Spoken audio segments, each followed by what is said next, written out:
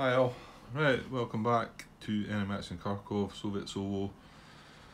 Um, actually, no, this is going to be um, take two part 40. It's still the second bit, isn't it? I'm not quite finished yet, am I? Uh, yeah, I never got back last night. Uh, I copied the part across, but hopefully we can finish this.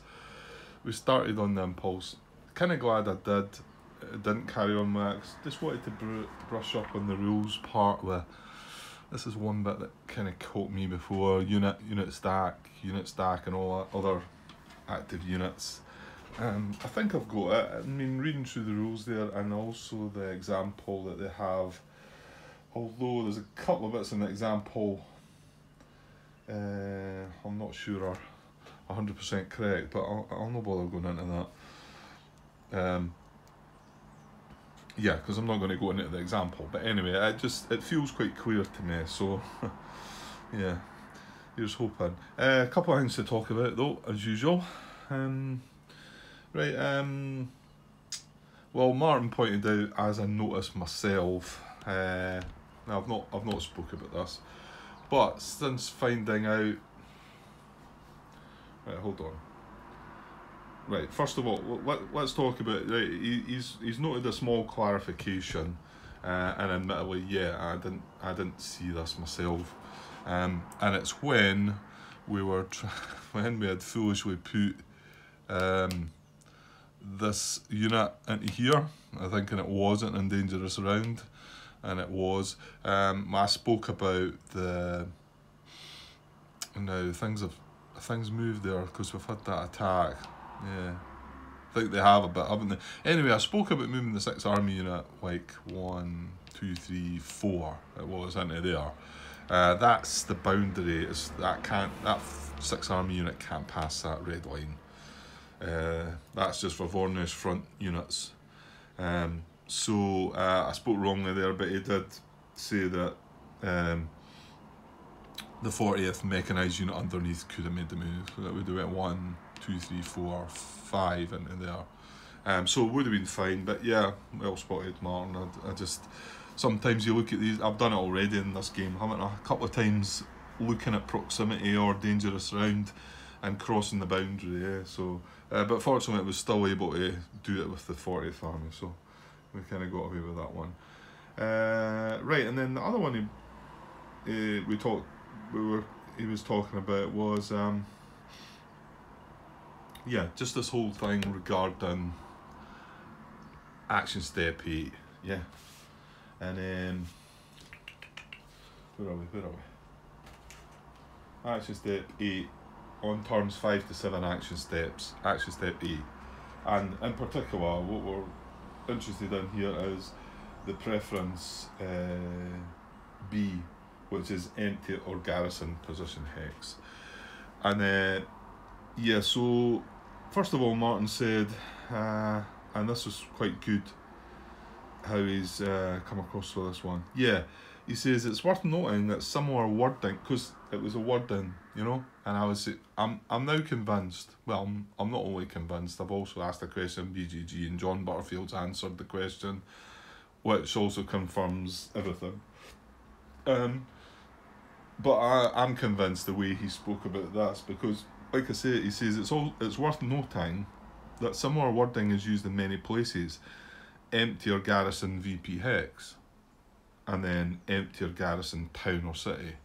So what that means is empty VP hex or garrison VP hex, empty town or city or garrison town or city, and the one we're checking for, empty or garrison position hex, does indeed mean empty position hex or garrison position hex. So there you go. And um, yeah, that when I seen that, I thought, right, that that clears it up for me. Um, if there was any um, clearing up needed, well, there is with me. It's it's nice to be able to like say, ah, okay, yeah, you know. So um, yeah, let's get. Uh, but what I wanted to do and ask Martin, and he he actually made a comment. Well, it's it's there for you to read. Uh, I can't remember. I can't find exactly where that was.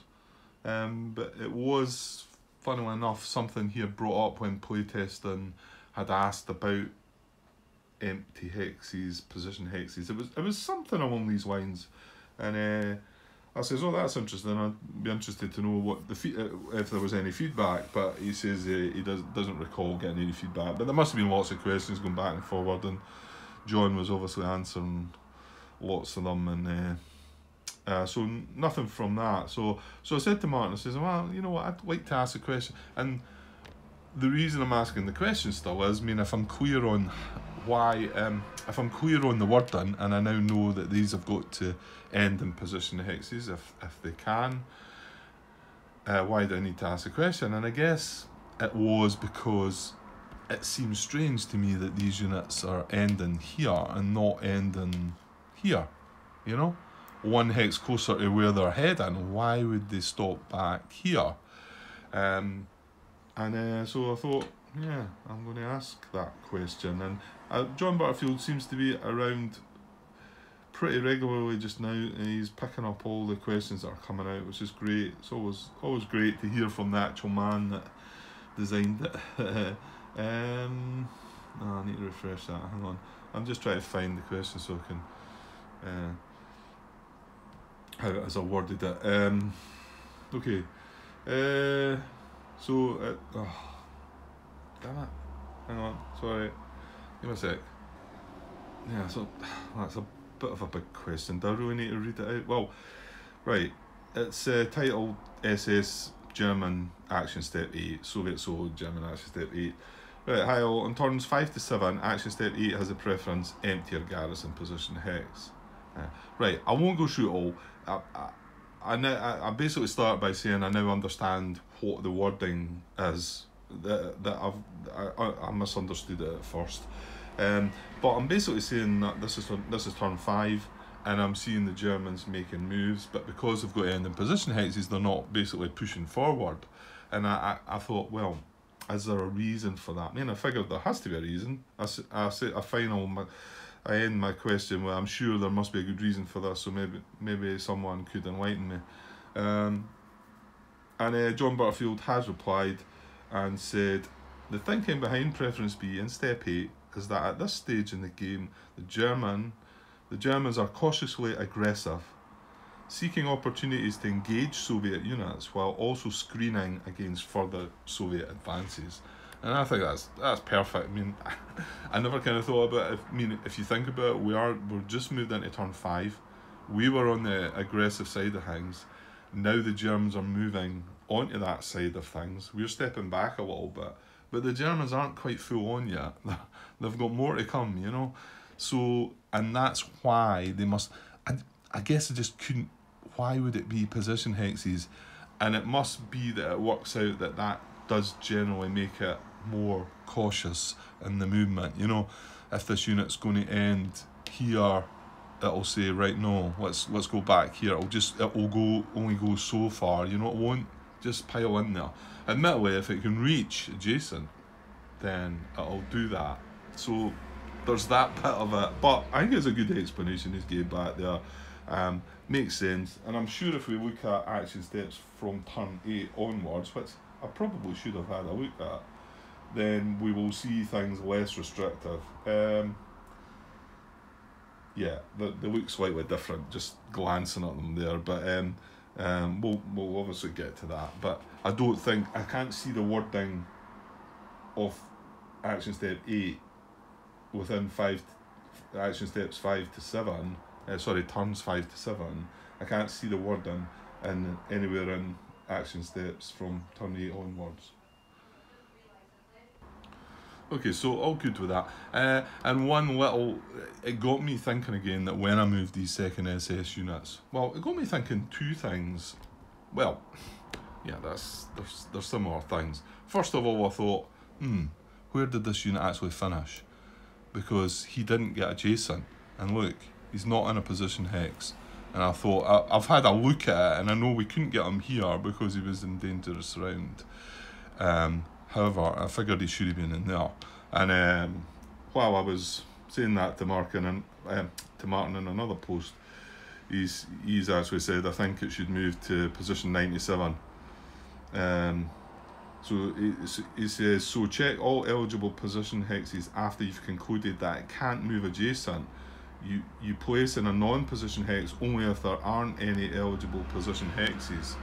Well, also, Martin, I, I, I started thinking about, you're saying if it can't move adjacent, are we not right in thinking that, and this is what got me thinking, oh, right, is there any other could there be any other trouble here to where I've moved these units? Because these units moved into non-position hexes adjacent. Now, if this had been a position hex, then my belief would be that preference A is adjacent to a Soviet unit and preference B is a position hex. So, so it's not it's not always when the unit uh, doesn't move adjacent. Even if it moves adjacent, it still wants to prioritize um, a position hex. Uh, and even this, and I thought this was quite interesting because I was watching. Um, that's when I was deploying. Oh, what unit was it then? Uh, was it the one from the town? No, it couldn't have been the one from the town. It must have been the second. It must have been this guy. And his three, his possible positions were here, no. Here. Here and here. No, I think there was one, two, three, four, five. He had five possibilities. But this was his last possibility, and it, and the reason that and the reason this wasn't a possibility for him, right? And because I looked at this and I thought, well, hang on, that's a position hex. But the reason this wasn't a possibility when I when I'd looked at it, it's it, it's not three away, it's four away from that unit bear in mind it's this unit we're moving from wherever he moved, right? So we're trying to find a hex within three adjacent to these units, right? I better watch. It was there, wasn't it? Right? But I concluded that it was either one. Uh, no. No, no, sorry. Wait a minute, I'm going too far up, am I? It's either, sorry, here. Yeah, we're looking at this. This guy wasn't here we're looking at here, so it was either here, here, or here. Within it was a, within three of that. But if you look at the preferences, the within three comes after. Within three hexes of unit and same core is preference C. Preference B is empty, empty position or uh, an empty position hex or a garrison position hex. So, in actual fact, I mean, I got away with that because we, we then found out, and Martin's never mentioned this, because, yeah, this wasn't a, a, an eligible hex to go to because it was in dangerous around, and that's why we had to move that unit back. But initially, I should have been considering that hex within preference B before I considered the other hexes within preference C, which was in three three of the unit three of the core. So yeah, gonna have to watch out. But now, now I know, I know how it works. Um, I understand that the word, and I, I just totally did not read the wording in the way that it's meant to be read. and uh, yeah, I've, I've had my moments with that throughout this game and and Ardennes. Um, it just it, it might just be me sometimes, but then again, sometimes I think it does bring to light that something is worded in a way that could do with some clarity, you know, like, um, just, yeah, anyway. Uh, okay, so yeah, and then I thought about these other units. I thought, well, could they not have had a position hex? But if you see, there's no position hexes round about there. But like I just said to you, if this had been a position hex, they might well been into that. You've got to check other restrictions that. Obviously, this would have a restriction would have said, right, it's in dangerous round, can't go there. So it, it ends up going there. But I never ever considered this hex for that unit. So uh, yeah, so need to watch that one. Um, mm-hmm. Don't need to look at all the possibilities. Then look at all the possibilities adjacent. Then look at then prioritize position hexes adjacent. Then look at units that are within three of the core. So anyway, okay, right. we better get on with this part or this is going to be well it was only an hour and five minutes so I should be able to get this sorted out but it depends what happens here to be honest right so let's get back to this German impulse then yeah and like I say I'm kind of glad I was able to step away and I just just had a wee look at the rules just just now before I started recording again just to refresh things. So, but we we had done this properly. Um, forward attack. The only the only thing I, I didn't consider, uh, and I had to have a wee glance, was that uh, one of these checks. Well, in fact, uh, yeah, one of these checks was for. I need to go out a little bit.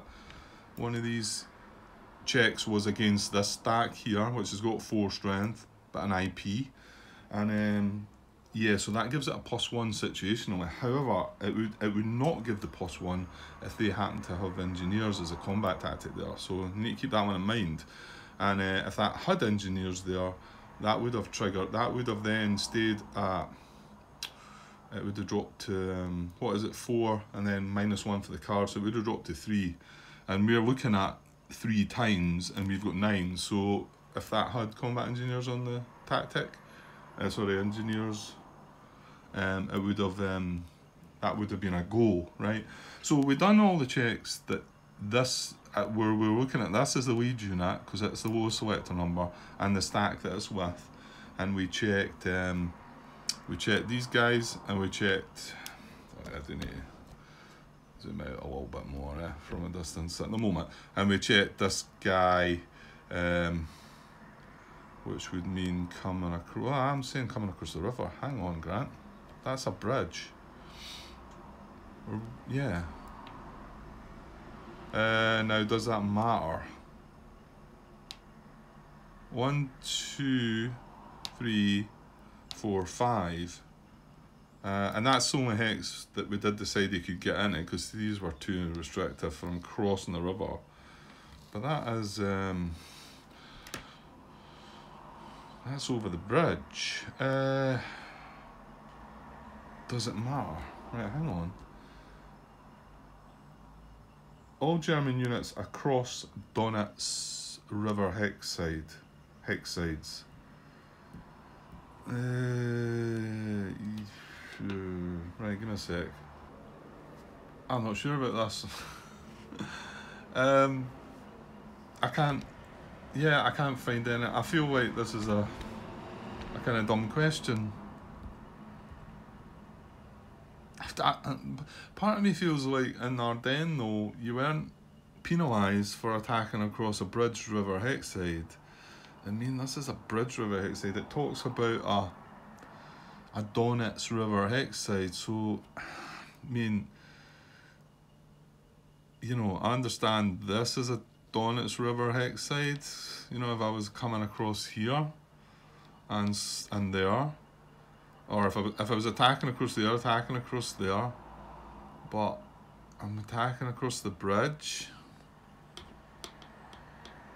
Ugh. I feel like I shouldn't be needing to ponder on this, but I've looked through the rules and I can't. I'm not seeing anything. Okay, give me a sec.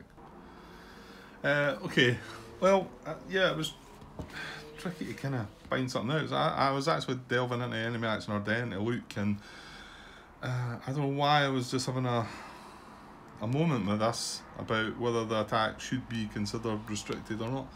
Uh, but within our uh, Enemy Action Ardennes, it didn't matter, your attacks were halved if you were attacking across the river or if you were attacking across the bridge, the river, Hexside as well the fact I can't find anything in here, um, I'm going to assume that when it says all German units across Donets River hexsides uh, to check for that situational strength, then um, then that is going to that is going to apply even if it is a bridge.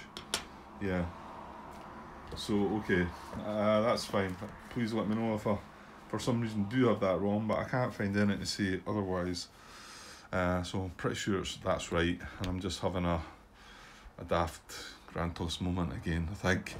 Uh, okay, so yeah, so we've done the check there, we've done the check there, obviously there was not a check, well, we've checked to see um, if we could have reached this guy, then yeah, fair enough, we might have uh, had a look, but um, yeah, that was that. So that was us finished with selector number three.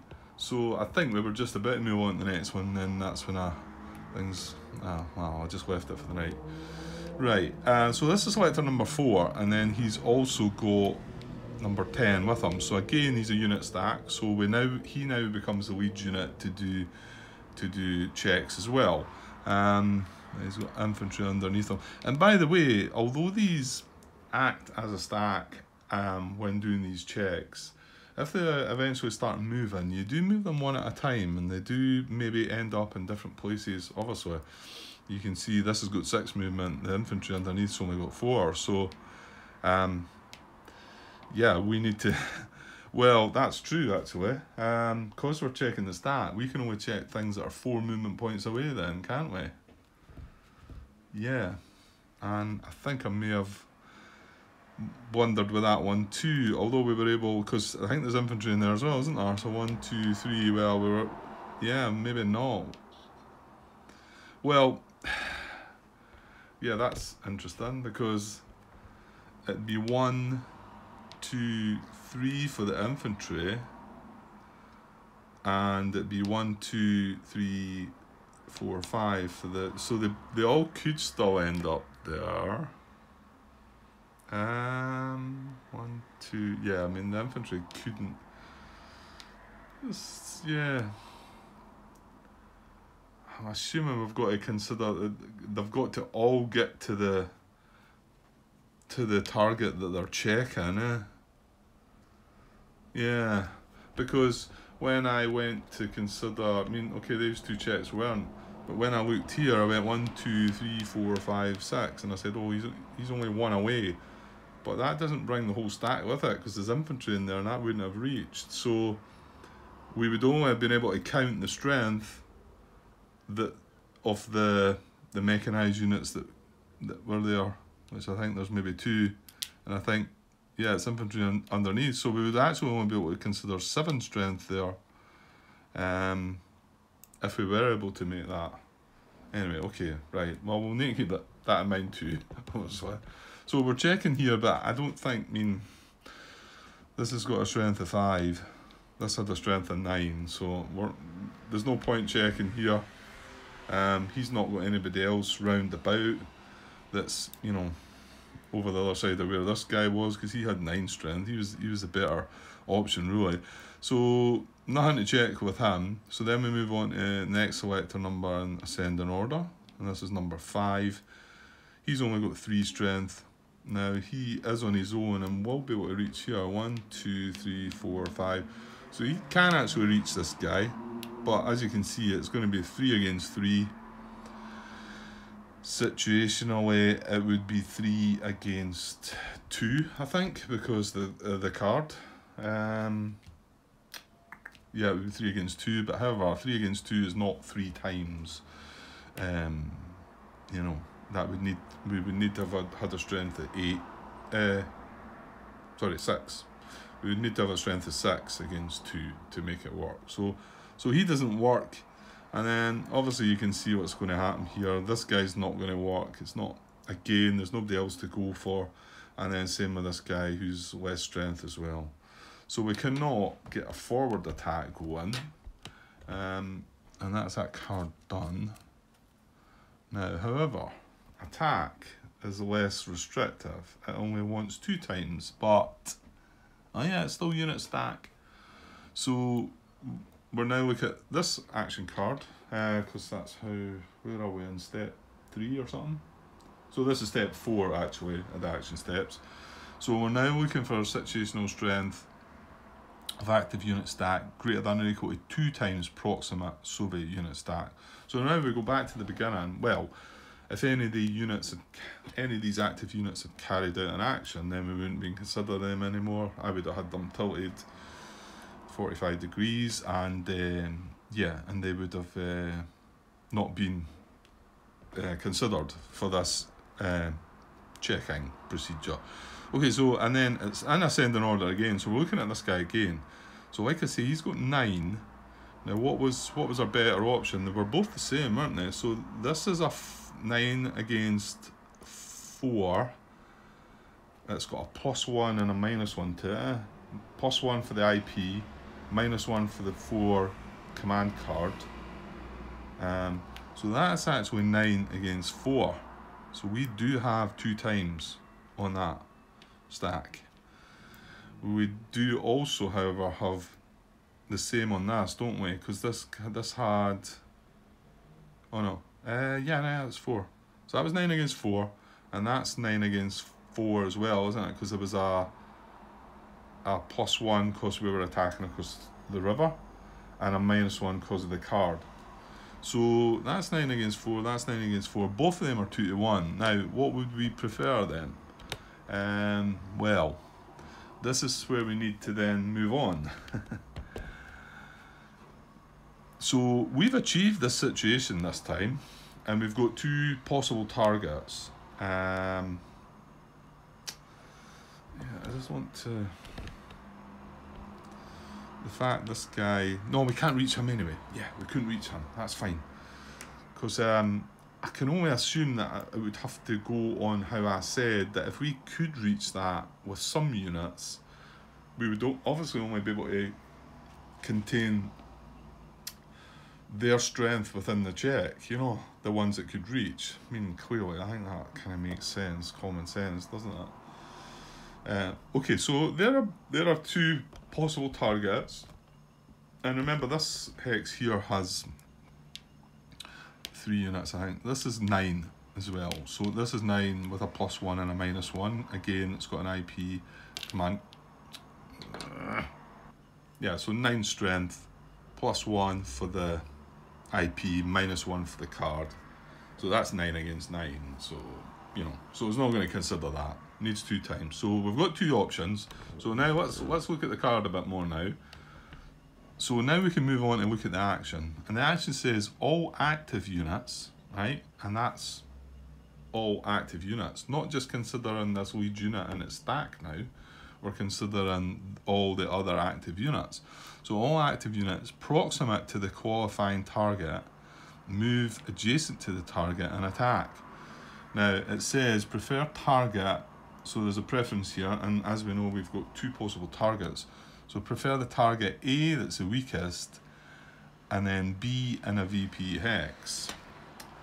So, um, Um, right, hang on though. Right, give a sec. Weakest. Weakest is the unit stack with the lowest total situational strength. Right, yeah, because I thought we were going to find this out by seeing what strength we could bring, because we might, I think we can bring more of an army against this, you know, more of a force against this than what we can against this because of the distance, you know but that's not how we're checking to see which unit we're attacking here, is it? The weakest, um, and that's the priority. But they've both got the same situational strength, so how do I, how do I break that one down? Right, hang on. Aha, well we break it down by looking in the rule book, because uh, the player just, again, just a condensed sort of version of it tells you its unit stat with lowest total situational strength. Page 22 of the rule book, the description of weakest, so right at the very top there, is the unit or stat with the lowest, with a lower total situational combat strength, okay, and then if tied, the unit or stack in the lower numbered position, then higher unit selector number. So if tied the unit or stack in the lower numbered position, I'm guessing it's going to be the VP hex then. So that number, that's number 11, and this is number 85. Yeah, okay.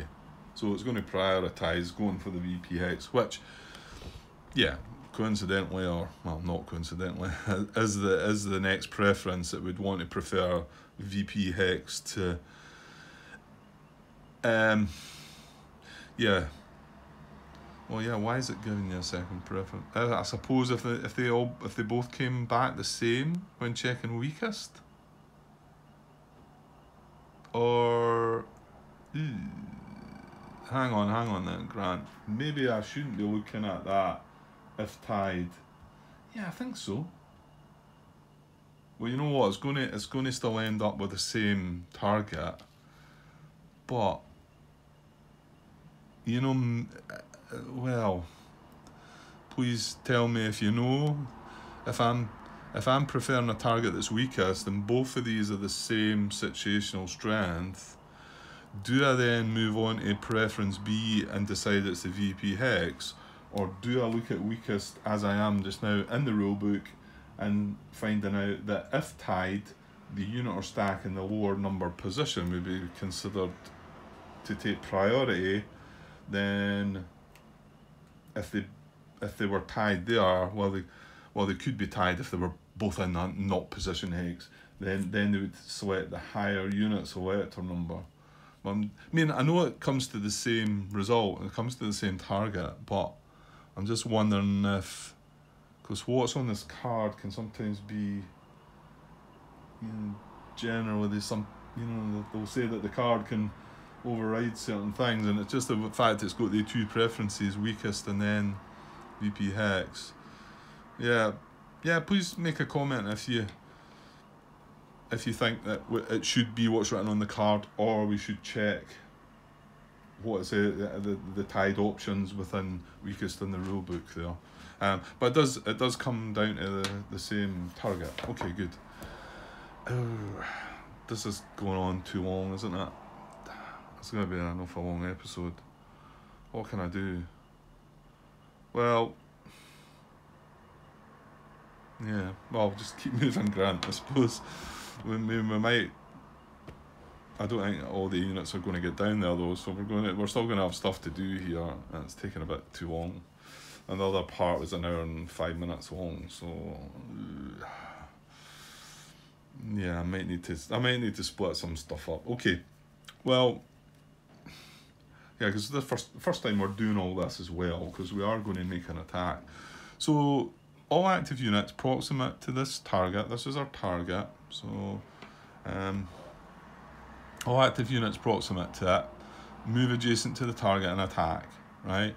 And then there's a wee section after that that tells us how we will break off, what we will do once we start drawing combat charts. Um, okay, let me. Now, this is where we again move, look at 10.54. So, when an action calls for German units to move adjacent to a Soviet unit, move the units one at a time, first the lead unit, then in ascending numerical order. Ah, I'm glad I read this because I think I made a mistake with this before. There was quite a few bits in this that caught me out. So we're moving these individually, right? Uh, now, I think that IP is going to drop off. Well, you know what? It's got the counter underneath, so we'll move that out of the way first. This is the lead unit, so he's he's the first one to consider here. Move in adjacent to this unit, right? So and then there's preferences. He, he needs he wants to move adjacent, right? Uh, he wants to surround the unit, not possible. Um, actually, do we not know that he can only move to this one hex? when I think about it, I don't, I don't think he's got a choice, is he? Um, there's some preferences, but hang on. Right, there's one, two, three, and then four, five. That is the best hex that he can reach. And in fact, you know what? I get the feeling it's just the stack that's going to move into here and attack, isn't it? These other guys are not going to get in. Ah, hold on, Grant. That's wrong. That's wrong. Because we're doing it in ascending order. Okay, this guy moves one, two, three, four, five. Is adjacent. The next unit we check is not this. This is number six, and this is number nine. We then go up to check number four. Hopefully this is right, Martin. Hopefully I've got this right.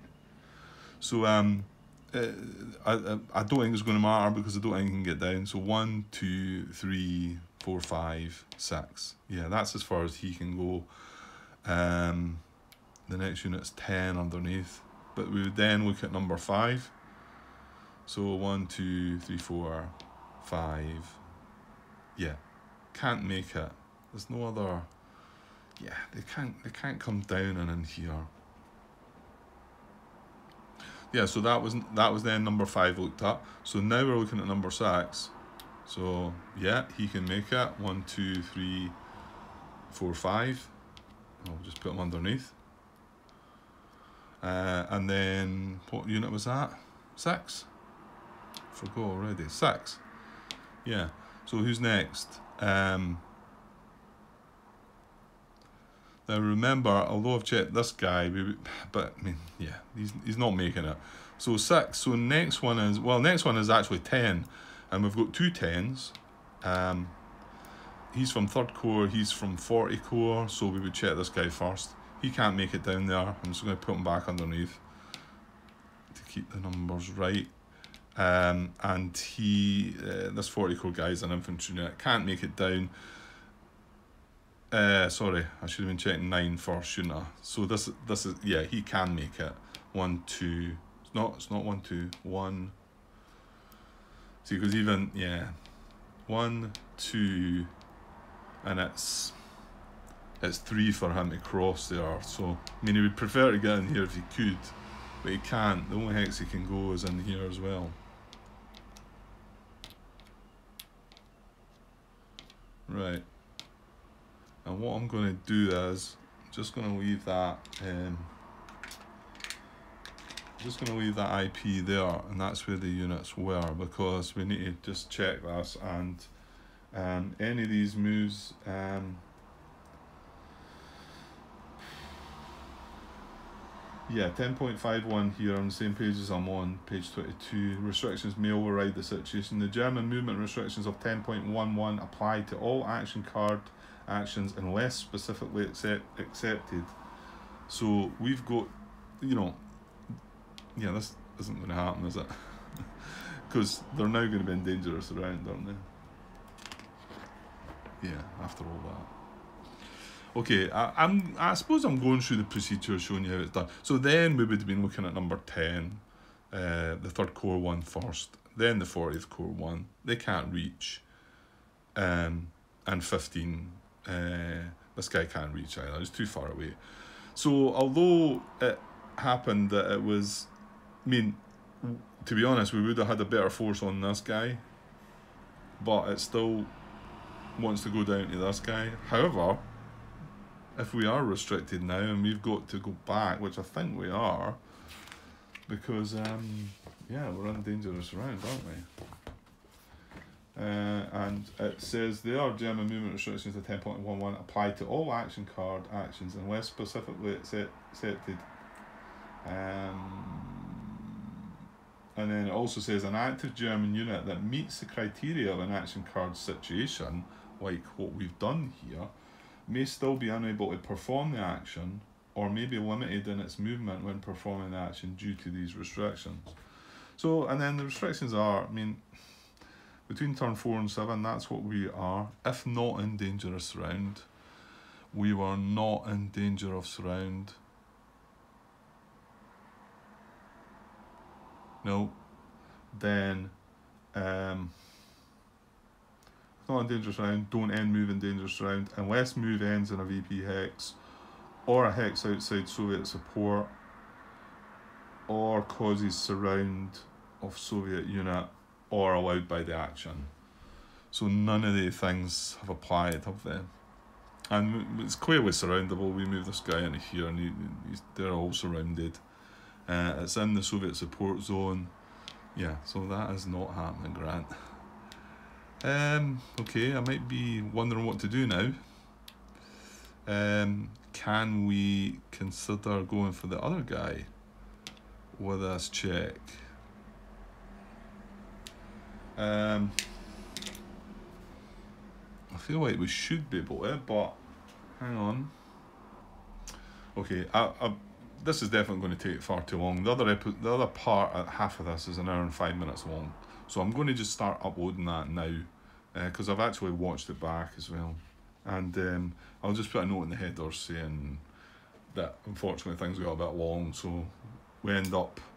I wish I hadn't started this German impulse, but we hadn't really started that, And, and I think when you watch this part back from the, from the beginning, it's really just starting this afresh again anyway.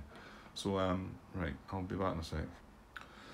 Okay, I'm pretty sure we can consider this other unit because the wording on the card is all active units proximate to qualifying target.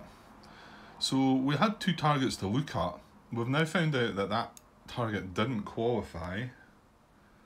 Um, hmm, yeah.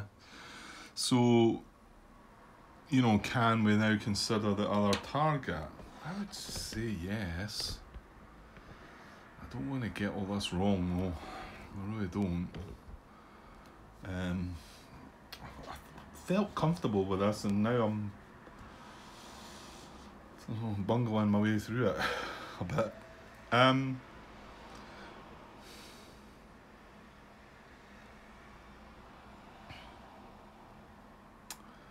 yeah, this this is a bit tricky because as soon as I move this unit, let's just say, right, that this turns out, well, no, it would prefer, it would pick another hex, wouldn't it? It would.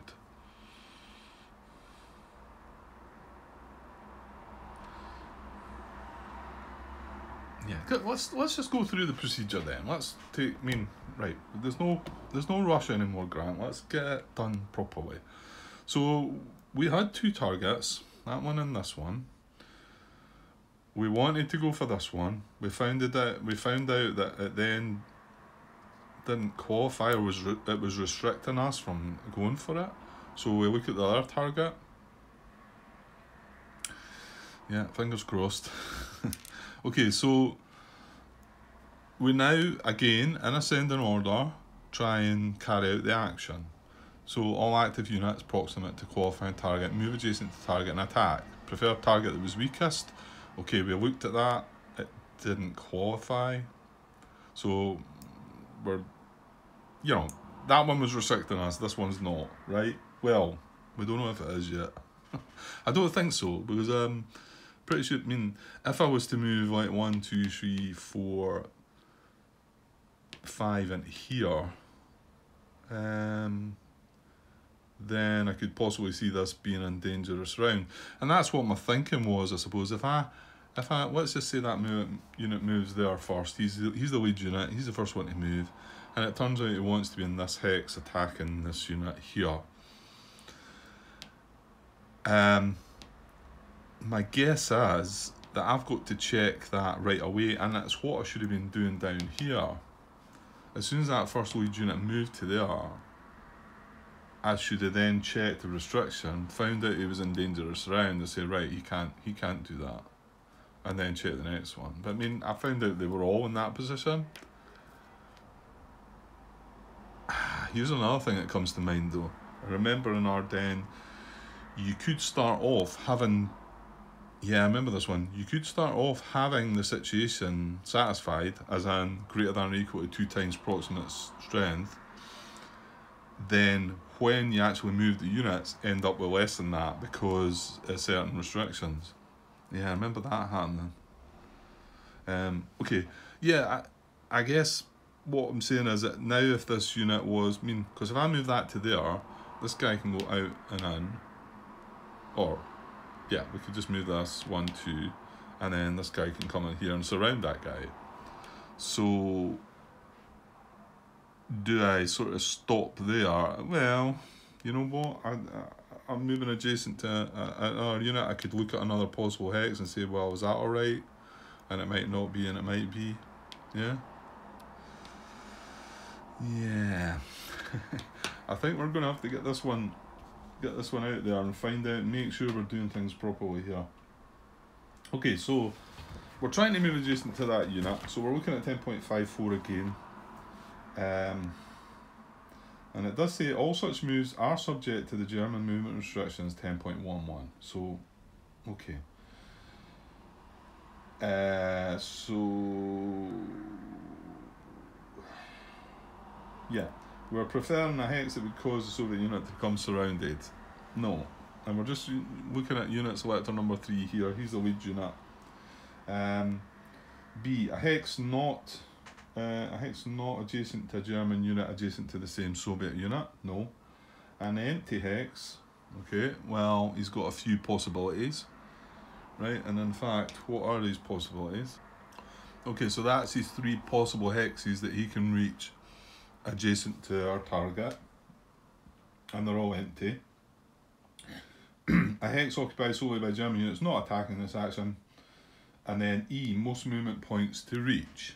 Okay, so this actually might come down to it that he, because he can't do that because of the restriction. Because my guess is one, two, three, four.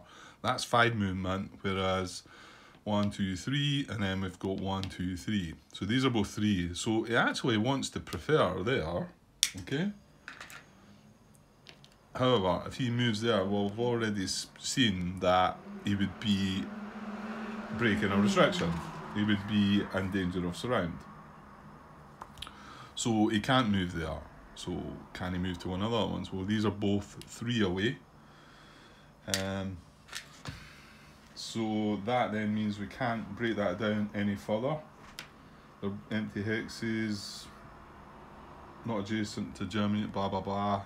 Um, they're both the same amount of movement points, so I would say we've then got to break that by the tiebreaker. Well, hang on, let's just see if any of the two might be dangerous around though. So the tiebreaker would be, what is it again? Uh, hex that enables another German unit to trace supply, we don't need that, so then lowest numbered hex. So it would be this one, 2006. So that's where he would rather be. Um, I'm just trying to shimmy these cubes about, they're stretching across there for them. Um, okay, so yeah, he's going to be a dangerous around in there as well, though, isn't he? He goes into here.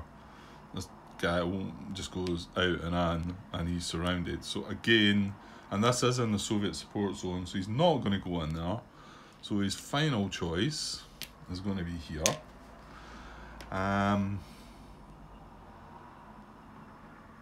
and that actually, I thought it was going to be at first, but I'm forgetting it's only this one unit that's moving, isn't it?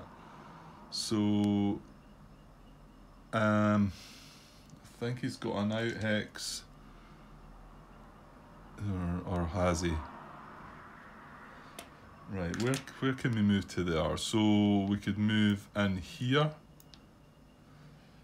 Um, yeah, and we can move one, two, three, four. That's a garrison. That's going to stop us. That garrison's here, by the way. We're not deploying reserves. right, so one, two, breaking zone of control. Yeah, three, that's... Well, actually, that might save them then. That garrison might stop it, because I actually thought I was getting in there. So I think he, he does have an out hex there, doesn't he? And we've got zone of control here, and here, and here, but not there and that's because of that garrison. Well, I'm glad that garrison's doing something then, because um, that was the one that we shouldn't have placed. Um, okay, so that does look a legitimate hex for him to go to then, doesn't that? Uh, so this unit's going to move one, two, three into there, 2107. He's not breaking any other restrictions. Um, don't cause Soviet proximity, empty or garrison German VP hex. Don't cause any German unit in the hex and Soviet support to be put in dangerous round unless that unit is active and not yet acted. The big one is though, if not in dangerous round, don't end move in dangerous round unless move ends in VP hex or hex outside Soviet support or causes surround of Soviet unit or allowed by action. Uh, and then the last one, well, second last one, don't cause surrounded Soviet unit to be surround to be unsurrounded. Don't end neck unit move in marsh hex unless only choice. Okay. Right, I think we've got something happening here. Um, so, right, who's next then? So that was unit selector number three, and he was part of this stack, but this is, I'm pretty sure this is right. We don't, because I think I was making a mistake of that before we do them in selector number order, whatever order it is on the card, and it's in ascending order. So that was unit 3. So the next one's going to be unit 4. So he wants to come down and attack as well. So where where can he go? Okay, so there there's his possible options.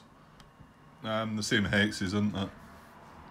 However, because we've now got this unit here, that might change the eligibility of these two hexes. That's a big word, Grant. Um, so, uh, but going again, 10.54 preferences, a hex that would cause the Soviet unit to become surrounded. And none of the hexes will do that. So, no. A hex not adjacent to a German unit adjacent to the same Soviet unit. Well, ooh. Right, I was going to say, well, that means these two are, are these two are both adjacent to the same Germ- to a German unit adjacent to the same Soviet unit. But does that mean that we target the hex? Surely would prefer an empty hex. Um,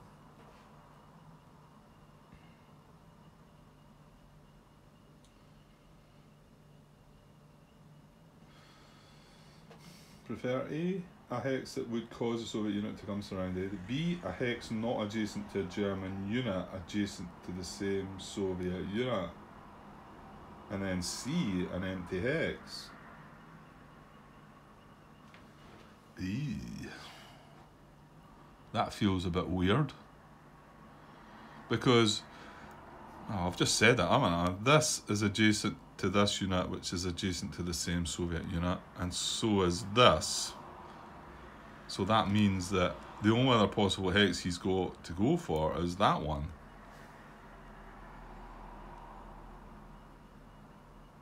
And I kind of thought they would prioritise. I mean, it just say adjacent. Ew. I'm going to go and ask this question because that feels.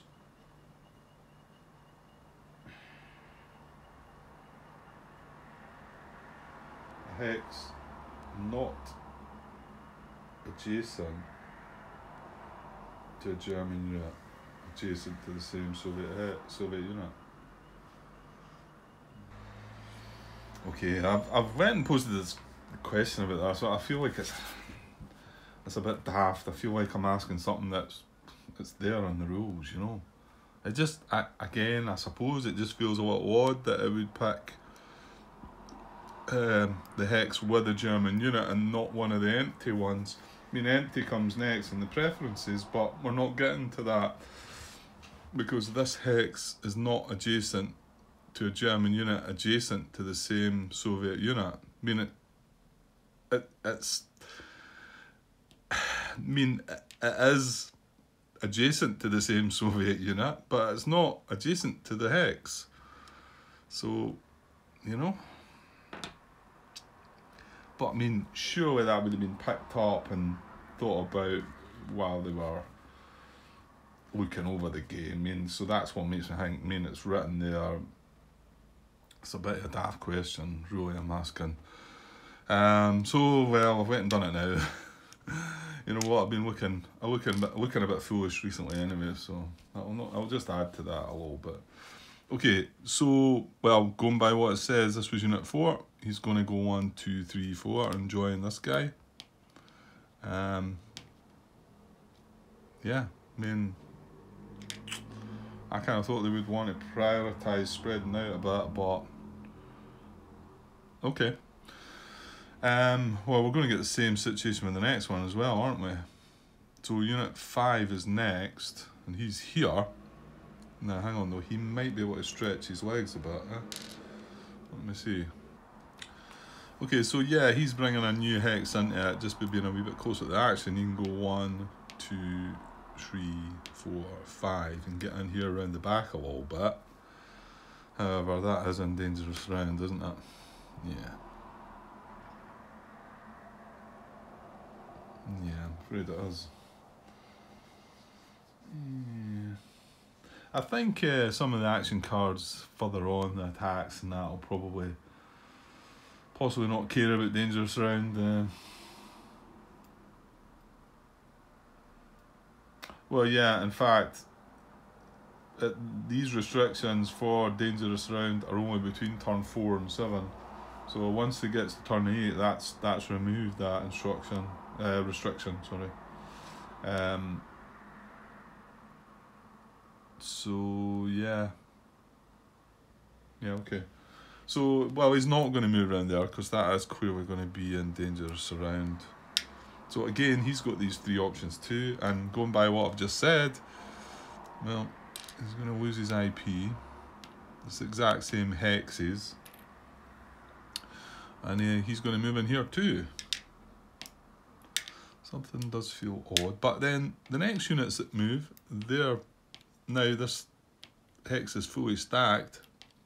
So I'll just pile them in their order there again. So that was unit 6, wasn't it? Um, right, so... Oh, hang on. No, was at 5. Yeah, because 6 is there. Right, okay. Yeah, that was 5. So 6 is back on the the stack that we started, we done the check initially. So what options has he got then? Probably the same. Well, he obviously doesn't have this option now, does he? So again, that's adjacent. One, two, three, four, five. That's adjacent. That's going to be that though, isn't it? You can't like... No. So that's his two choices. So this time he has no option but to... Uh, what we're looking at. Hex that would cause Soviet unit become surrounded, well no. A hex not adjacent to a German unit or adjacent to the same Soviet unit. Well now we don't have a choice. Um, both of these are adjacent to a German unit adjacent to the same Soviet unit. So we just move on by that one. A hex, uh, no hang on, an empty hex, well they're both empty Hex occupied by so solely by German units, not most movement points to reach. So that does mean he's, he's going to come around to this one, eh? Um, and I think we decided this wasn't in dangerous round now. Wasn't it? Yeah, because of the garrison. Uh, that wasn't... Yeah, it was in dangerous round before, but that's before we moved a unit into there. That's right, we were looking at that first if that was the first unit and there was nothing in here, then yeah, you could go out and in and this guy could come in here. But not now. So unit 6 is going to go one, two, three, four, five in there. Right. And he's fine. Yeah, because he's not surroundable. We can't get a unit in there. So he's got an out hex here. Yeah, okay. So then who's next? Nine.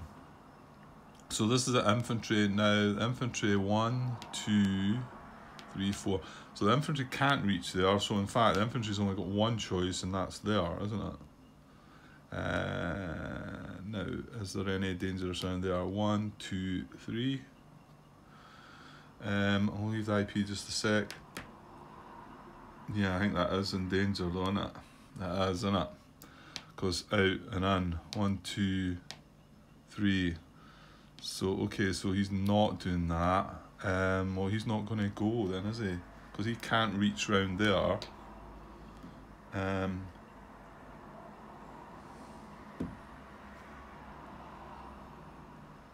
yeah, he's not going to go. Okay. So, and next unit is 10. Well, we've got two 10s, and again, this is third corps. Um, well, he's not going to go either, is he? Because again, one, two, three, four, and then he's oh no no, wow that unit's there. He's not in dangerous round. There you go. So he was next to move, but if I move him into here, I then open up a gap there that well hang on, there's a garrison there, Grant. If he goes there, one, two, three. Yeah, I'm not going near the garrison. So that is surroundable. Unit 10 though, however, just uh, put a marker there just in case can go one uh, yeah can't can't get down here so he's only got the one hex option. One two three four. But if he goes down here he's not in dangerous around is he? Because this unit's still here.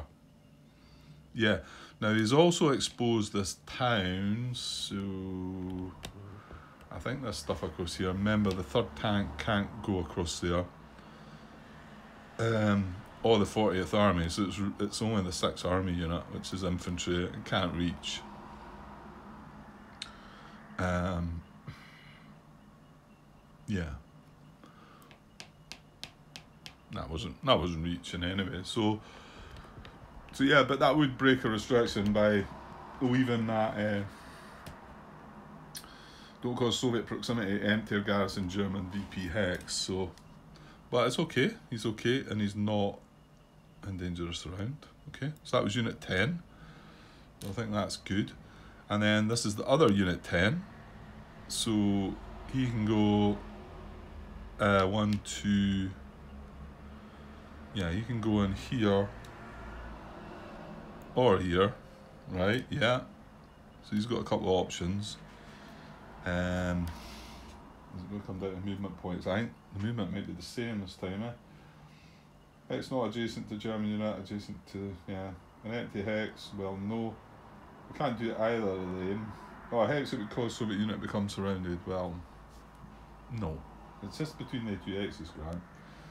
Uh, so most movement points. So uh, one, two, three, and it's one, two, three. So they're both the same. So we go to tiebreakers, and it's going to be the lowest numbered hex. So it's going to be this one. Okay, so he's going to lose. That's unit ten. He's going to lose his IP as well, and come down and here.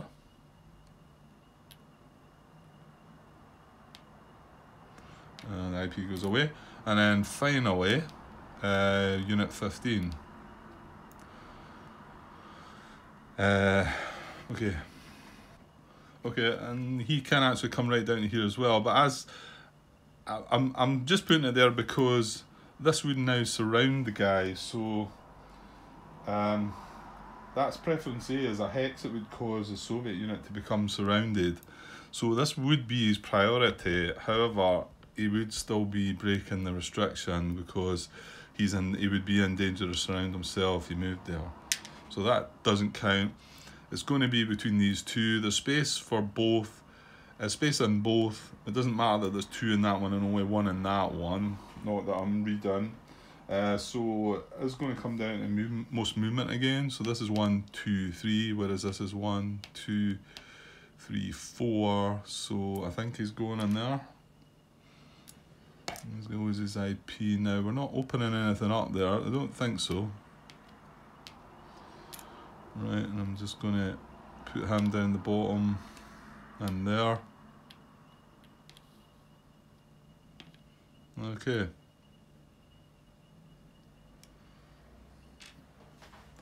Right, and then obviously, like Unit 9, he's still not done anything. Now he had to do it in the order that he had to do it, so that's why he couldn't move. You can't then go back to him and say, "Oh well, wait a minute, I can now." You know, squeeze. Well, if he moves, if he moves, that then becomes surroundable. So, but he he can't do that. He's done his check and he can't move. Um, yeah, okay. Right. Well, I don't think we've opened anything up. I say we, we opened the town up here. This garrison's in the way to stop any shenanigans surrounding any of these guys. So, and then the fact, I mean, obviously this guy couldn't move because that would have lit surround on that side as well, a little bit. Um, yeah, okay. So we're gonna get our first, we're gonna get our first German attack. Oh goody. Um. So, yeah. So we've now moved everything. Now, bear in mind, we still have an active unit that, um, well, he's not going to do it on this attack card because he's got two straight. Um, actually, he can't. He's done a check already, hasn't he? He was part of the original check, but he's still a, he's an active unit that's not carried out an act. You know, he's not carried out an action yet, so we can still proceed through the action steps after this attack to see if he can do something, and um Oh, wait a minute. Did that? Yeah, he's got an IP still. So he still does have an IP in that hex. So I'll put the wee boy cube back because not everybody moved out of the hex. So, right, so what's the attack card do, Grant? Uh, an hour. I'm going to have to copy this across. Uh, I better, I better. I don't want things to go to pot now. Right, um, I'll just pause and I'll be back in a few minutes. Right, okay, that's that bit copied across, so space on my phone again. Um, okay, so we're going to go into this combat. You'll see I've uh, jumped ahead a little bit, and um, we do have five to one. They've got five to one odds, and seven chit pulls. Um, yeah, twenty strength against our four. Now we have an IP, so remember that whole situational strength thing. That only counts while they are checking to see if they're going to come and attack.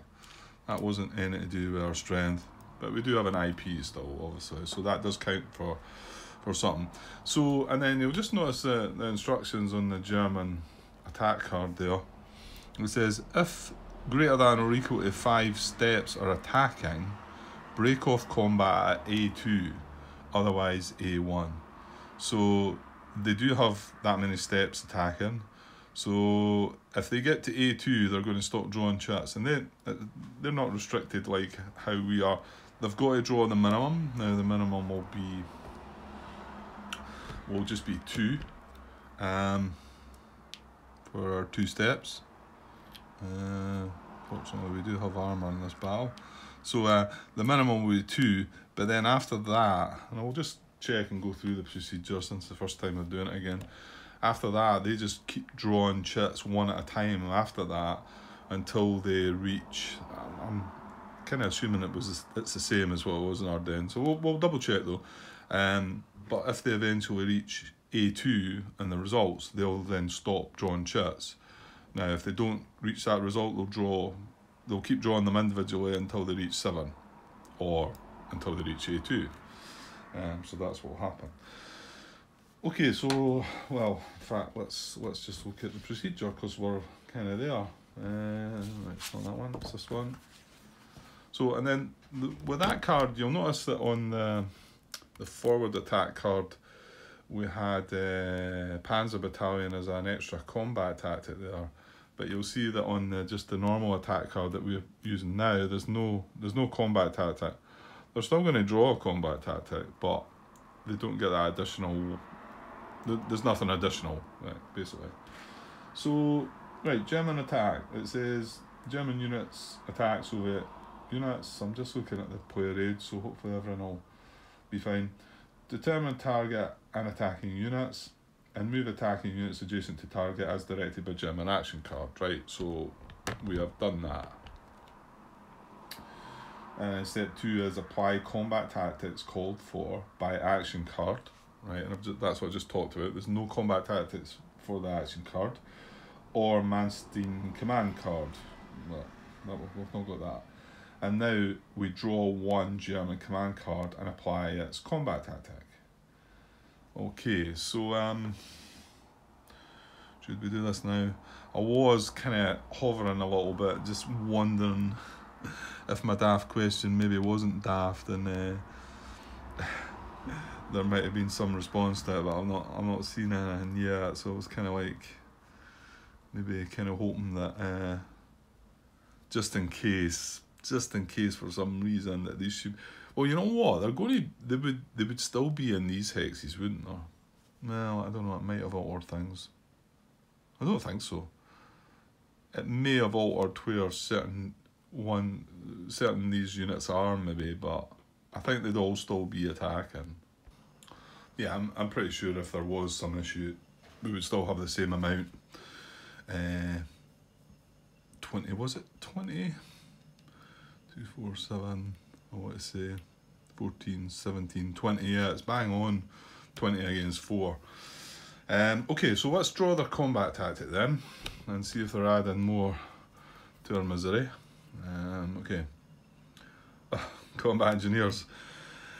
Right, well, that's great. Um, okay, so that's probably going to remove our IP, so that is more misery. Um, we're just checking German combat tactics, combat engineer, German attack, remove an IP marker from the defender if present. Great. So that has made it worse for us. Um, and then we can't play combat engineers, I think it works out, doesn't it? Remove an IP from the defender if present prior to resolving combat if no IP is present, instead add 2 to the attacker's combat strength. Well, yeah, I was going to say, well, I'd rather have had that, but it yeah, it's not a either or. It's like if it's got an IP, it's off. If it's not got an IP, it would add two. So it, it could have. It's not, but it could have added, you know, to the the ratio how they're doing. Right, so that was bad. Um, right, and not only that, that adds a combat chit as well. So uh, yeah, it was eight. There's they're all just uh, none of them are three step units. So it's one, two, three, four, five, six, seven. It was seven chit pulls, but now that's combat engineers. I'll just get rid of that card now though, because it's done what it's done. Um, right, so now it's our opportunity and we can only play one. So play one Soviet combat tactic at your option.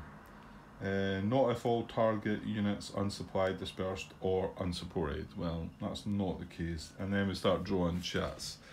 Well, I had a look earlier, and there there is a few options. I've got four possible cards as options, although I'm going to count this one out, NKVD, and that's because it doesn't allow me to retreat. So it says if defending, reduce Soviet hits by one, Soviet units may not retreat. I don't feel that's that great. I, and it's not a hex. It's not a hex that I, I would say, well, I'm never going to retreat from that hex anyway. It, it looks like a hex where I'm quite happy to retreat from. Um, the next one was air power. Okay, they've not played air power, so that's po- and it's on the 69th Army card. Not not a strong card. We do want to get them moving, but um, yeah, there is that. Um, the next one was on the 40th army card, which I'd like to, I prefer to keep. Now that's intelligence, and that's the one that lets you, after all combat chits are drawn, revealed in the combat, remove one chit, chit of your choice before applying results. You may also, at your option, replace the removed chit with another chit drawn from the cup. The German intelligence tactic cancels Soviet intelligence. So, uh, yeah, on defence, I thought there might be some difference to, but it does allow you still the option of, okay, I'm not having that chit, but you can draw another chit, you know. Um, and however, I kept the best, well, I think my best option to last, and that's reinforced battle. It's on the six army card. Hmm. Oops. What happened there, gone? Right, uh, it's on the six army card. Ah, these were okay. There's a bit of both in there. That's what. I was knocked him down. Um, so yeah, maybe not. Maybe not that bad. So I was double checking reinforced battle though, because I know we've not done it on defense. I don't know. Don't know if we've done it on attack yet or not. Maybe we did. So select one active or inactive stack that did not move or attack in the current activation that could reach combat and a single move to participate in the combat. Now, bear in mind, if this guy's surrounded, we, we can't do any of this. So, But there is, we can come round here and into the hex, okay? And there's two units in the hex, so there's a spa there's space for one more, and there's only two steps in the hex, right? The selected units must be supplied, undispersed, in the same front as a unit in the combat, right? So um, that's fine. They're all from the southwest front, all these units round about. Um, and not, and this is one I sort of hesitated at, and not adjacent to an active enemy unit. And obviously this only applies on defence. And then I thought, well, these units, they're, and then I thought, wait now, yeah, these units are still active. They've not finished their activation. They're still about to attack. So we can't, that's my understanding, I can't use units from there.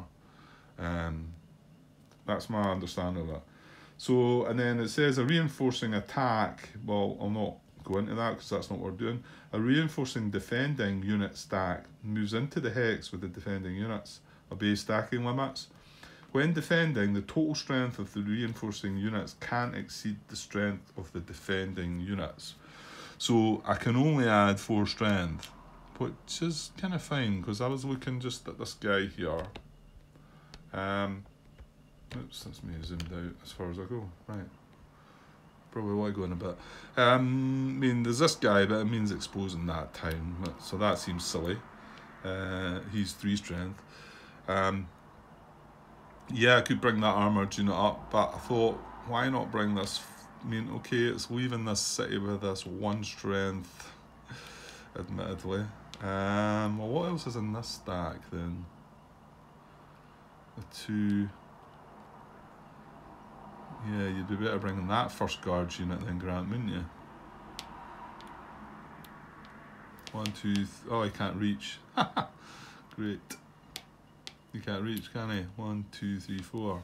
So it's only this guy that could reach. Um, he's reduced, right, okay. Well, and then, like I say, I can't, going by how it's saying that, these are adjacent to active units, so I don't think I can pull one of them away. Um, but I could bring this in, right? So what would that do for me? Well, it would add two more steps. It would add four more strength. They would then have 20 against 8. That drops the odds from 5 to 1 to 2 to 1. That's pretty good. Now, it would alter the chit pulls. Well, it would alter the minimum chit pulls. The minimum chit pulls would then become 4. Um, so these are the things. I mean, okay,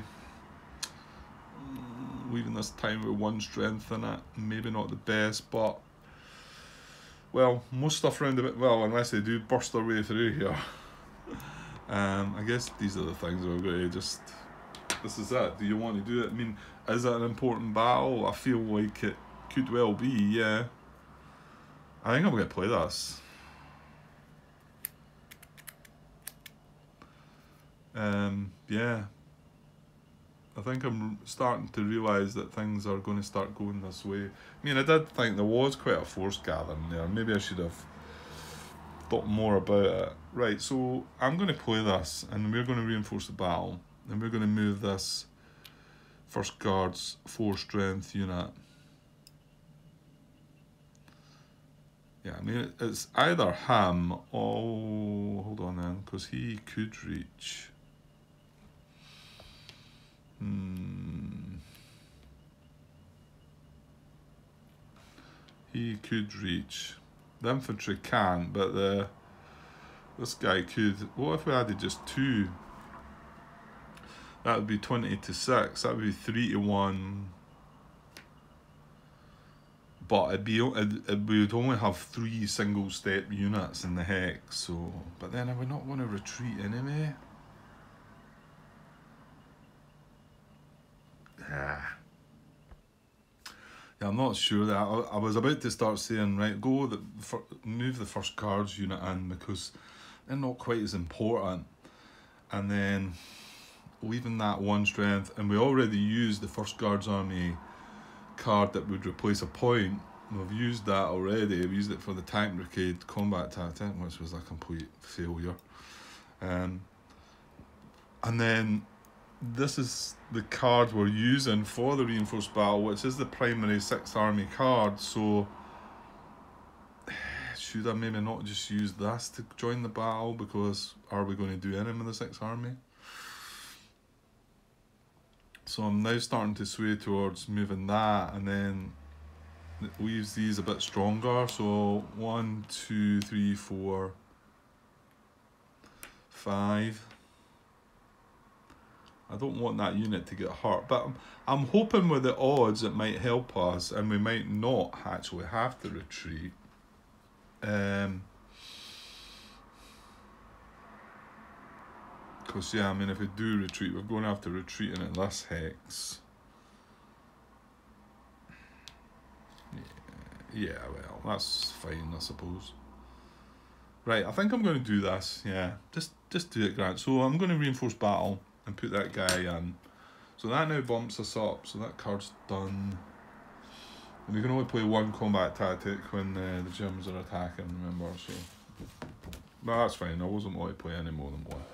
So, um... Yeah, um... What does that do? That re reduces odds, like I said, it was 20 to 4, it's now 20 to 8.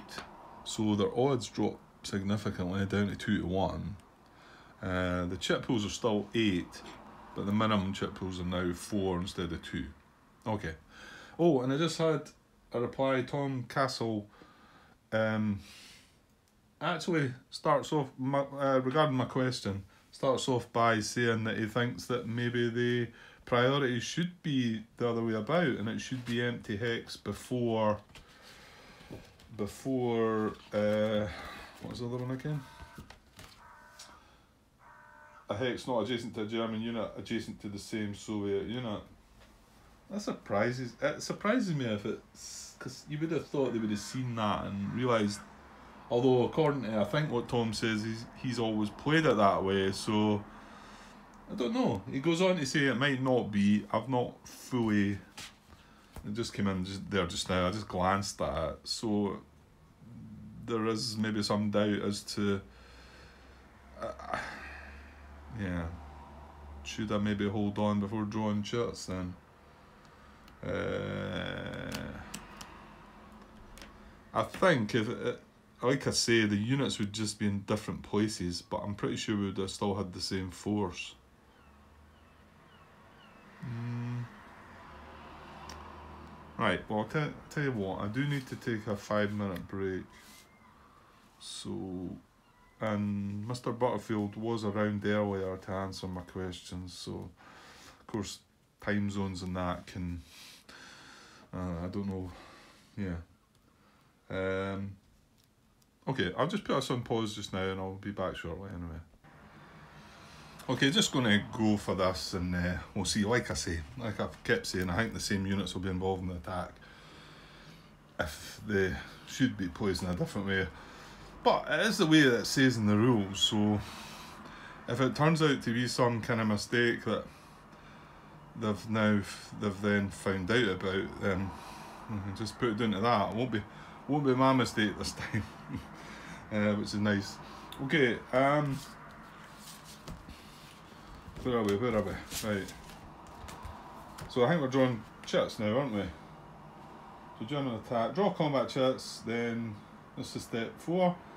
Step five, calculate hits for both sides. Six, apply stat losses and retreats and dispersal to target units. Seven, apply stat losses and dispersal to attacking units. Eight, check attacking units for advance after combat.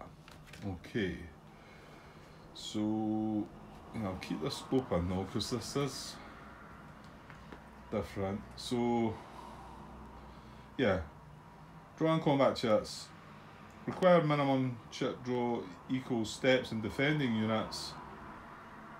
Um, and then we know about the maximums.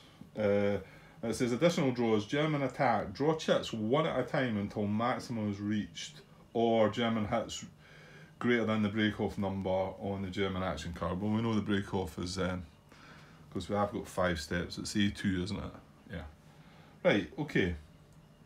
So, right, well, let's draw our minimum four. Where am I putting these, Grant? Well, I could probably make a gap in between here, couldn't I? Something like that. Right, so we'll get the chits in there. I'll zoom in a little bit. Okay, I'll get the first four. Oh, look at that. That would have been a nice start if I played the air power, eh? hit to the Germans, a minus hit to us. What card was that on as well? It was on one of the 69th Army cards. Urgh. Okay, well they never played air power either, so right, nothing doing. Damn, I was just there were the first three chits. This was City on City are not supported on the other side. No artillery. There's the fourth of the chits, which is combat engineers. They played combat engineers, didn't they? Yeah, and it only applies if it's the attacker uh, right, well, it's in the chit pulls, isn't it? Applies if, yeah, it doesn't tell you in the player aid that one, does it? You've got to go look in. I'm pretty, mean, I don't think I need to look here. Uh, well, we can look in the combat quickly. Combat engineers. Applies if the combat engineer's combat tactic has been applied by the attacker only, yeah. So that one does apply. So they've got they've got uh, oh they break off at A2 yeah okay. Well yeah. Or I think hang on. Do they not yeah I think I maybe skipped on by that bit didn't I? Come back shuts is it not just an employer aid card does it not tell you Yeah. Yeah, yeah.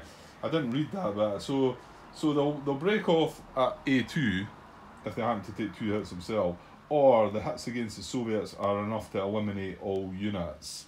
And then it references thirteen point four two, which will uh, yeah, which shows you know, if we know if we know they're going to eliminate us, then they're going to stop drawing chits. Obviously, as as you would do yourself. Uh, that's the sun belting in the window. That's just going to be a pain, I think. Yeah. Uh, it still looks alright through the screen though, so um, I can see. Uh, right, so now they draw individually until when they break off. Either they break off at A2 or they have enough chits to, or they have enough hits to eliminate us all, or uh, they reach chits. Okay, so I'll get them one at a time. Oh, I thought we were getting something there on them. It was three to one on the front. I thought, oh, maybe, but it's less than two to one. They've actually got two to one, haven't they?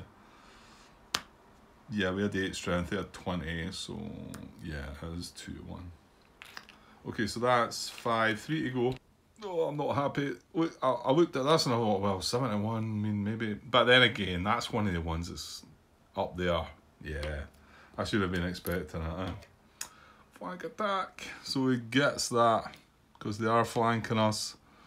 Um, and this is the whole thing about them wanting to be around. I mean, if they, you know, if we if we had only had, let's just say, right, that we had only brought these three units into the battle that must be wrong, eh?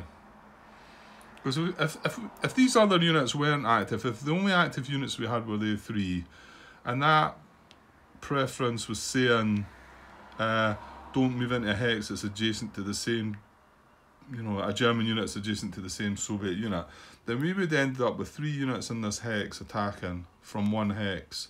This flank attack wouldn't have applied. I mean, I know we brought more units into the attack, but uh, like I say, if we only had three.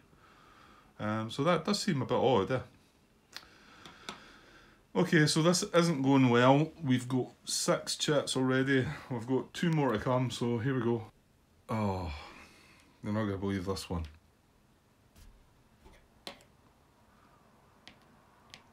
Look at that. How cruel is that? He's played the four command cards, so attack a command four or five, A minus one, and D two. this is devastating. Right, one more. uh, well, yeah, they're not eliminating us. Uh, did they need to eliminate everybody? I would imagine so. Yeah. This is horrible. So hits against Soviets are, en are enough to eliminate all units.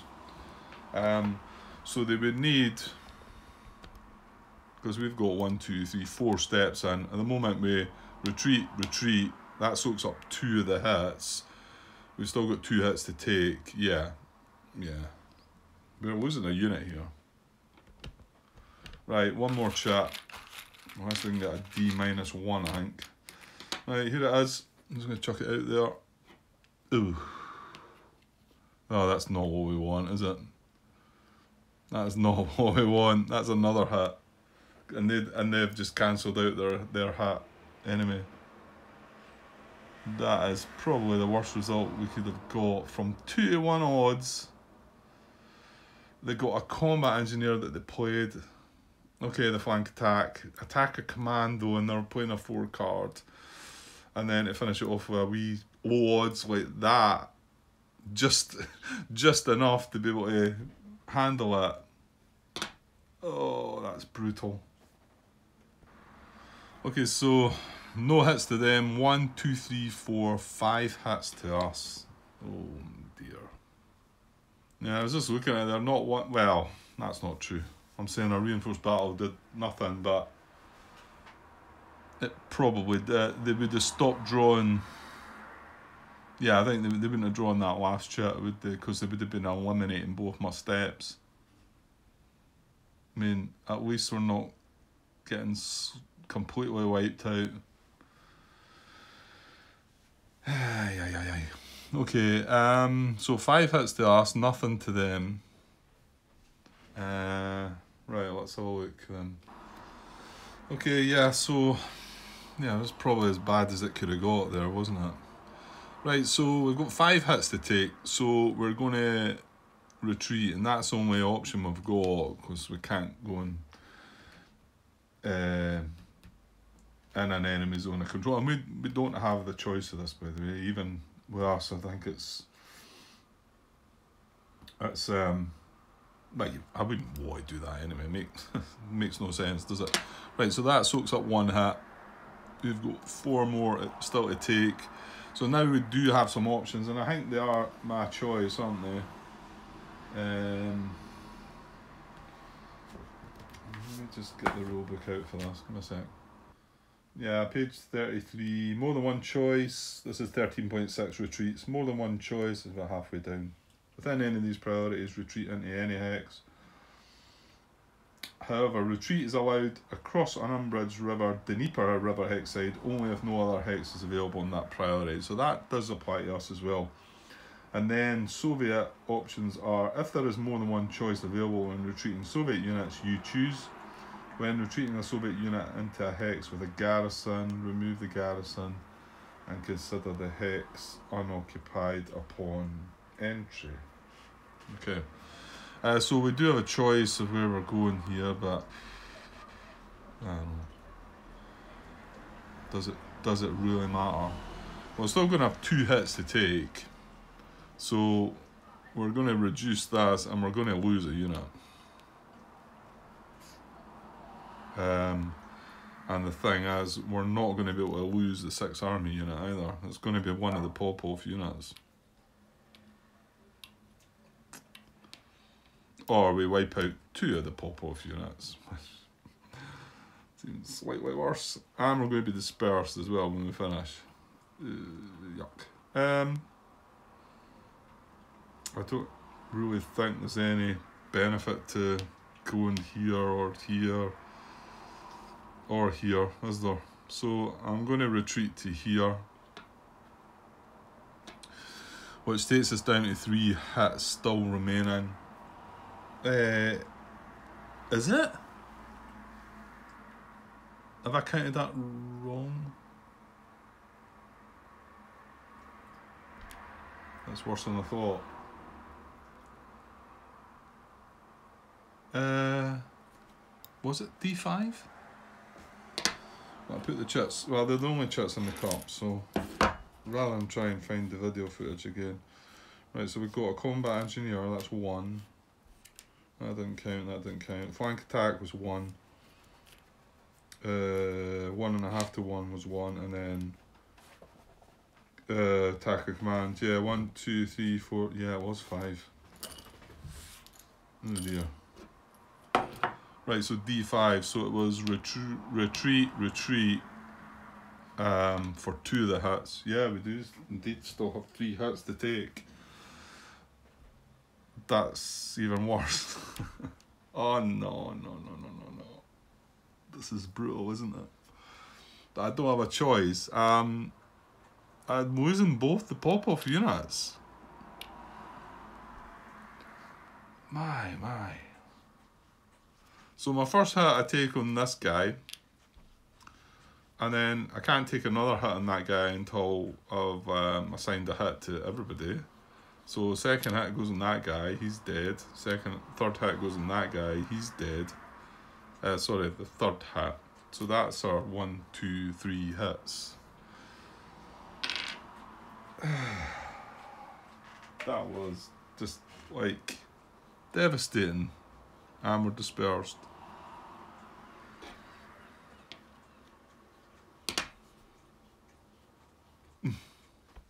And now two two units. An eliminated units box. Did we not we we used a replacement point or did we? No we've not had a Popov uh, have we had a Popov card this turn even? Yeah we did we got the primary card yeah I want to start thinking though that we had maybe the set the supplemental card last turn. I might have that wrong. Okay, right, so now they're going to look at the possibility of advance after combat. Um,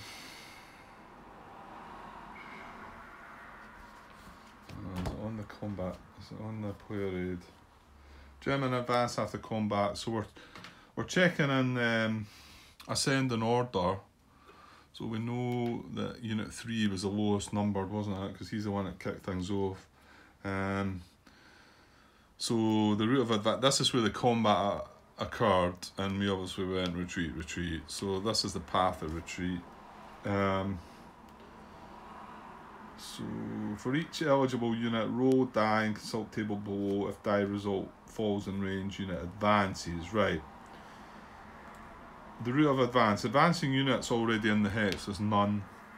So, and then it, the route of advance is into first hex, first that applies. One is a VP hex, no. Two is a hex enabling supply, no. Three is a hex causing surround, no. Four is a, a forward direction. And all the options would give an automatic advance. Is it a forward direction? No. Let's go in that way, the forward direction. So adjacent to a forward direction, well, yes, it is, because there's the forward direction, that is adjacent to it. So on a row of 1 to 7, um, on a row of 1 to 7, that, that unit 3 will advance. I'm just going to do these off camera, makes it easier. Uh, we've got a 4, so, so yeah, so he will advance. Now, we also need to check for 2 hex advance.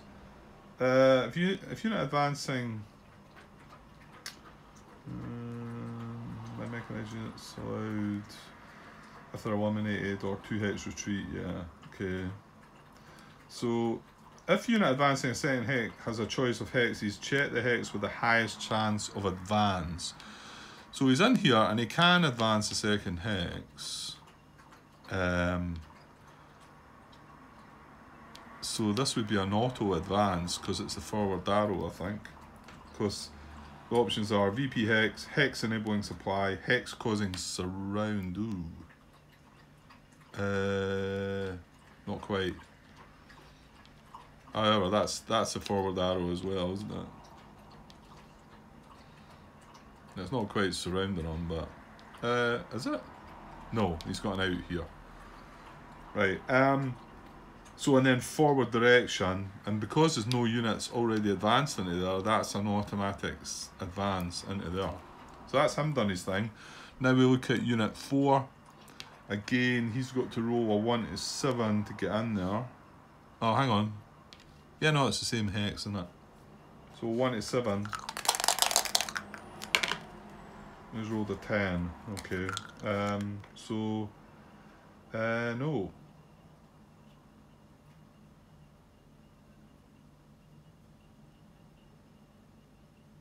Yeah, yeah, okay, that was a 10. Yeah, what am I thinking about? Right, okay. Um, so that was unit 4 done its attempt. So unit 5's next. Again, he would advance on a 1 to 7. That's a 3. So he does advance into there. Now, check for his second advance. Again, he checks well, hang on. If, if there's a choice of hexes, he checks the hex with the highest advance chance. Uh, hang on. So this is a forward arrow, but there's a unit already in there. So that would be a roll of one to six. Um, and these other advances would be other route so they would not. Oh hang on hang on. Hang on this adjacent to forward direction. So that would be there. So in actual fact that's a 1 to 7 isn't it? Yeah. Because there's a unit already and I know this guy advanced from there to there but that's because it was an auto advance there's now unit in there, the, the chances of them moving into there is a 1 to 6, and the chances of them moving into adjacent to forward direction with nobody in it is a 1 to 7. So he's going to take that one on, the 1 to 7. There's rolled an 8. okay, so he's staying put. So that's 3, 4, 5, uh, 6. Right now, that is the forward direction. Oops. Oh, make a mess. But that is the forward direction. So that is, but there's a unit already in there, so he's going to advance on a 1 to 6. He does roll a 6. Um, so he's in there with a possibility of a second hex advance. Um, well, again, he's going to try this one because that was a that's a one to seven for the second advance. They are all mechanized units, yeah. Forgetting that infantry wouldn't be allowed to do this. Yes, they are. Right, so he's going to try and a 1 to 7 into there. Uh, we got a 4 this time, so he will he will advance into here. I just hope I'm not going to like go back to my computer and find find out that all these units should be in different positions because there's some issue. Uh, okay, so and then in here we have unit 10, unit 10, unit 15. These are all infantry? No, not the one down the bottom. So, and that is not adjacent to the forward arrow, so it looks like they're going to stay there. Uh, VP hex, hex enabling supply, hex causing surround, no. Forward direction, no. And it's not adjacent to the forward direction, that. That would be, that would be adjacent or that would be adjacent, but not that. Okay, so it's another route, so means none of the guys will advance. Okay. Uh, right, and but just before we just step away from that, there are some restrictions, and I forgot about that. Um, so unit in hex, right, German advance restrictions. Unit in hex in German supply won't advance into hex not in German supply. They're all going to still be in supply. Okay, your unit will advance into surrounded hex only a VP hex or to cause Soviet unit to become surrounded or from turn 5 if hex is not in Soviet support. Um, I don't think any of them are surrounded hexes though, are they? No. I mean, they're in danger of surround, quite probably, yeah. Um, but it does say unit will advance into surrounded hex only if, right. Unit won't advance if doing so causes Soviet proximity to empty garrison town city. Well, that's a point. That's a point. Let's move these cards out the way just now. Because we left that, I think it's too far away though. Well, actually, there's still not a gap. So it's fine. Just that you know, if one of them had advanced sort of sideways and allowed a gap shoot at this, it would, uh, sorry, the town up there, then it would, uh, that would be in restriction. Uh, so proximity to empty garrison town city hex. Uh, mechanised unit won't advance into marsh hex, okay. But, well, it didn't look like they did break their restrictions. So, um, yeah, that's good. Right, we need to, we need to keep this going, or this will be a, like, this whole part will be, be splitting up into three bits, never mind two. Okay, well we've still got one active unit left, right? Uh, with this guy, and he's got a two strength, and he's not going to try and use the attack, right? So we can skip by that now. But however, he still does want to then look at the next action step, which was so long ago, wasn't it? That was action step four, I want to say. So action step five is move to a hex and remove dangerous round from a German unit in hex and Soviet support. Move to a hex and remove dangerous round from a German unit. Uh, yeah, because I did just say that some of these units now might be in dangerous round, possibly. Because um, remember, we do consider dispersed units I mean, pretty sure this guy's in dangerous around. Um, honesty, is it not maybe more than one? We can get something into there. We can get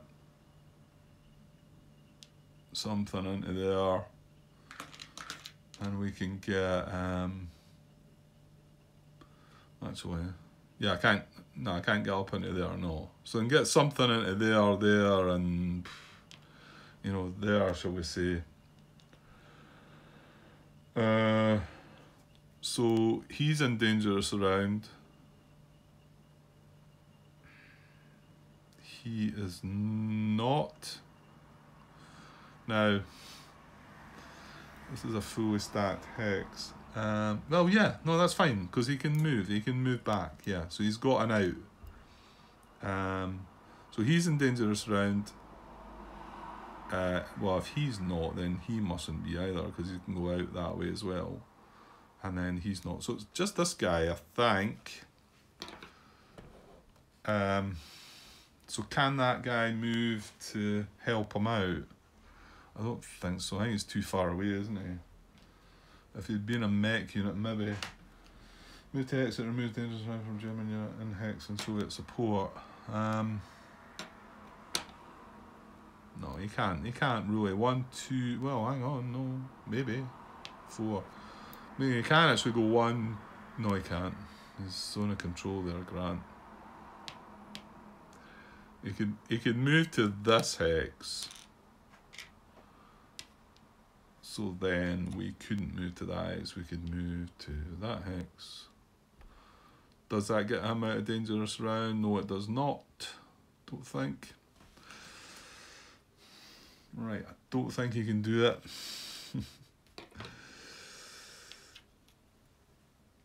I don't. I'm not hundred percent sure though. I feel like I'm coming to my end of my strong thinking here. um. Okay, six is move proximate. Move proximate to empty Soviet VP hex, if not already proximate. Move proximate to empty Soviet VP hex. Well, there is this one here, but one, two,